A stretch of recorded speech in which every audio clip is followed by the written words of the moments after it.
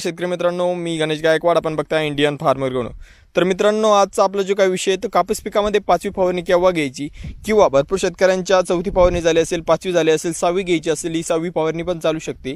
काय होतं शेतकरी मित्रांनो कापूस पिकामध्ये सध्या रस शोषक करणाऱ्या किडीचा प्रादुर्भाव जास्त प्रमाणात दिसून येतोय. किंवा पाण्या वाकडी होणे किंवा फुलगळ त्यानंतर अ, रस शोषक किडी पांढरा जो काही आपला पांढरा कोळी किंवा लाल कोळी जे काय आपल्याला हे दिसून येत आहेत त्यानंतर पांढरी माशी तुडतुडे फुलकिडी इत्यादींचा प्रादुर्भाव आपल्या पिकावरती जास्त प्रमाणात दिसून येतोय. त्यामुळे आपल्याला एक चांगली फवारणी घेणं महत्त्वाचं असतं.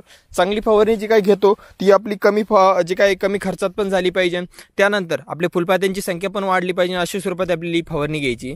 आता हे फवारणी घेतोस आपल्याला यामध्ये चांगले ब्रा- औषधं आहे ते औषधं वापरणं महत्त्वाचं असतं. यामध्ये आपण जे काय वापरणार आहोत आज पाच टक्के फिप्रोनिल जे भेटतं म्हणजे जे काय आदामा कंपनीचं आघाडी भेटतं मित्रांनो आपल्याला ही आघाडी वापरायचं आहे. आघाडीचं जे काय आहे ते प्रतिबंपासाठी जे काय प्रमाण आहे पंधरा लिटरच्या पंपासाठी आपल्याला तीस मिली जे काय आहे ते आघाडी वापरायचे. त्यानंतर यामध्ये अंडीनाशक म्हणून आपल्याला तपूज वापरायचं आहे. तपूजमध्ये बिप्रोजिन आणि ॲसिपेट येते. त्यामुळे आपल्याला हे तपूज जे का वापरायचे तपूज काय करणार आहे? जे काय आपल्या पानावरती अंडी असतील अंडींचा नाश करण्यास काम करणार आहे. त्यानंतर जे काय रस शोषक करणारे किडे किंवा थ्रिप्स आहे फुलकिडे त्यांच्यासाठी पण उपयुक्त ठरणार आहे.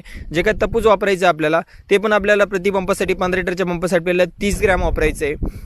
त्यानंतर हे दोन झाल्यानंतर आपल्याला यामध्ये एक जे काय आहे चांगल्या प्रकारचं टॉनिक वापरायचं. आता टॉनिक कोणतं वापरायचं? यामध्ये तुम्ही एक तर जे काही इसाबियन वापरू शकतात सिजंटा कंपनीचं किंवा टाटा बार वापरू शकतात किंवा फॅन्टॅक प्लस वापरू शकतात किंवा हायफिल्डचं ॲम्बियन वापरू शकतात किंवा बायरचं ॲम्बिशन वापरू शकतात. यापैकी कोणतं एक वापरा. आम्ही जे काय रेग्युलरमध्ये वापरतो तर ते म्हणजे सिजंटा कंपनीचे इसेबियन वापरतो. इसेबियनचं पंधरा पंधरा लिटरच्या पंपासाठी तीस मिली आपल्याला हे प्रमाण वापरायचं आहे त्यानंतर आता ही फवारणी आपली झाली एक. त्यानंतर भरपूर शेतकऱ्यांच्या समस्या आहे की कपाशीवर कुठलाही रोग जास्त प्रमाणात दिसून येत नाही पण फुलगळ किंवा पातेगळ जास्त प्रमाणात होते. यासाठी आपल्याला जे काय वापरायचं आहे प्लॅनोफिक्स जे आहे ते पाच मिली आपल्याला प्रति जे काय पंधरा लिटरच्या पंपासाठी फक्त पाच मिली वापरायचे चार ते पाच मिली.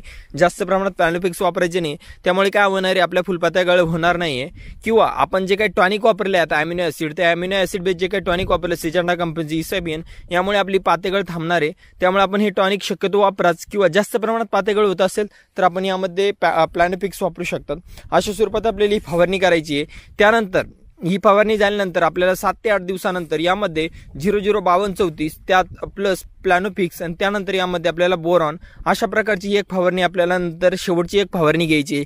यामुळे काय होणार शेतकरी मित्रांनो? जी काय आपली कैरी आहे ते कैरी फुगवण्यास मदत होणार आहे. त्यानंतर जी काही अशा प्रमाणात पातेगळ होते ही पातेगळ प्लॅनोफिक्स म्हणून होणार नाही. त्यानंतर बोरांची जी काही आपल्याला इफिशियन्सी जाणून येते म्हणजे जे काही पानामध्ये बोरांची कमतरता दिसून येते किंवा फळामध्ये बोरांची कमतरता दिसून येते म्हणजे फर जे काही बोरान आहे फळ जे काही कैरी आहे ते परिपक्व करण्यासाठी मदत करते किंवा झाडाच्या फळपांद्या वाढवण्यासाठी मदत करते. त्यामुळे आपल्याला यामध्ये बोरांची फवारणी घ्यायची त्यामुळे आपल्याला शेवटची फवारणी जी काय बोरान बावन्न चौतीस आणि त्यानंतर प्लॅनोफिक्स घ्यायची. किंवा जर का जास्त दिवस झाले असेल तर आपण झिरो झिरो पन्नास आणि बोरान पण घेऊ शकतात. त्यामुळे काय होतं झिरो झिरो पन्नासमध्ये पोटॅशियम सल्फेट येतं. यामुळे झाडावरती कोणताही रोग राहत नाही. म्हणजे रोग धरून ठेवा जे काय आहे ते पळवण्याची ताकद यामध्ये झाडामध्ये निर्माण होते आणि फळ पोचवण्याची ताकद निर्माण होते. त्यामुळे आपल्याला झिरो झिरो पन्नास आणि बोरांची फवारणी घ्यायची. तर धन्यवाद शेतकरी मित्रांनो. जर का आपण आमच्या चॅनलला सबस्क्राईब केलं नसतं तर सबस्क्राईब करा आणि समोरील बेल आयकनवरती क्लिक करा.